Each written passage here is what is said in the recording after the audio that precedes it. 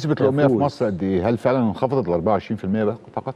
لا نسبة نسبة الأمية آه، طبعا كان كان الإحصائيات قبل إنشاء الهيئة العامة لتعليم الكبار كانت 42% يعني سنة 1991 بدأنا نعمل على أرض الواقع 92 كانت نسبة الأمية حوالي 42% دلوقتي نسبة الأمية وفقا للشريحة العمرية 15 سنة فأكثر حوالي 7 أو 26% وكسر آه، بالنسبة لتعداد سكان مصر أيوة. 19.2% بالنسبة لتعداد السكان تعداد يعني السكان. بتتكلم على 20 مليون بني آدم حوالي لا، ح- 17 مليون أو 16 مليون وكسر ما هو إحنا 100 مليون و19 وحاجة في المية يعني أنت 20 مليون يعني على طول كده طبعاً. 19 19% آه. في في تعداد مصر تعداد تمام. مصر كله 19% مش 20 آه. فطبعا ده يعني حوالي آه، 17 مليون أو أقل آه، طبعا الإنجاز يعني الحمد لله بقى في إنجاز على أرض الواقع من خلال الشراكات اللي بنعملها.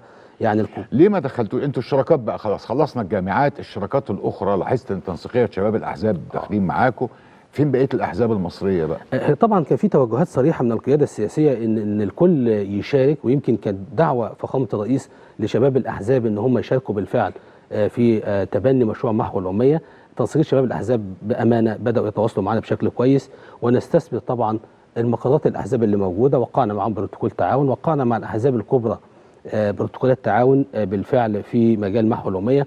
عندنا مشروع ضخم جدا مع القوات المسلحة محو أمية المجندين. مفيش مجند بيدخل القوات المسلحة إلا لما يخضع إلى برنامج لمحو الأمية وتعليم الكبار وياخد شهادة محو الأمية بجوار آه، شهادة إنهاء الخدمة العسكرية.